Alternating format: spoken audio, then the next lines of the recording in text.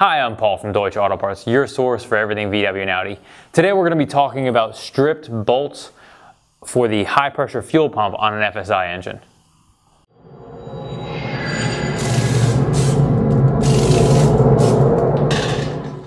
Today we're going to be doing something a little bit different.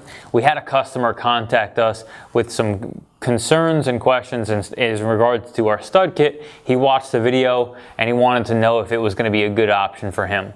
So basically what happened to this customer is this, the whole reason why we developed the stud kit is because the bolt holes right here that mount the, the fuel pump, which mounts in here, they were stripped.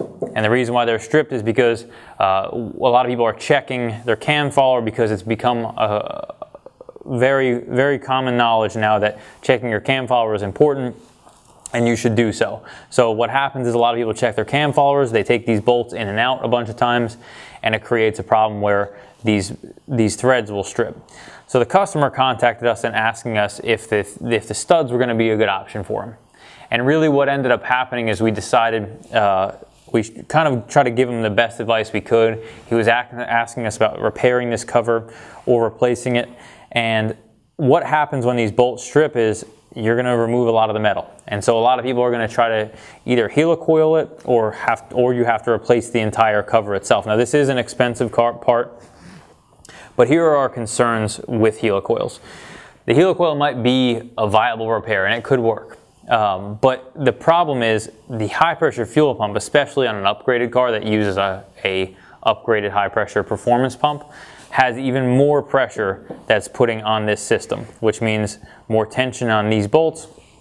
And if you helicoil that and your helicoil rips out, which is you know possible depending on how, uh, how weak the metal around the repair is, you're going to end up causing damage to your, your either brand new or replaced pump because as it's riding in there, it will cock sideways or something else at, because of those bolts.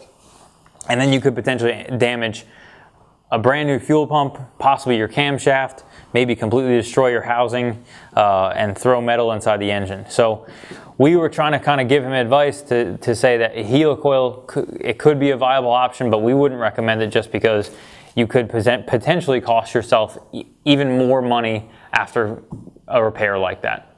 So here we have an FSI cylinder head. We just wanted to show you this just for reference.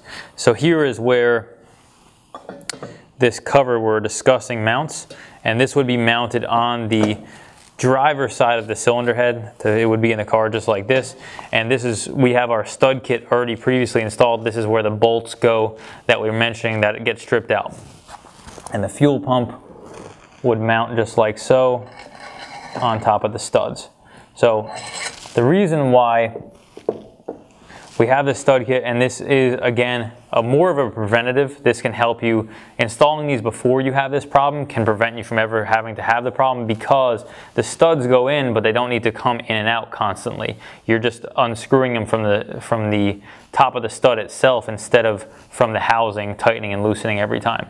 That's the main reason why this is valuable. So we'll have links to all these products which includes the timing cover, the fuel pump and then also the stud kit in the description below. Thanks for watching. Be sure to subscribe and leave any questions, ideas, or feedback in the comments below.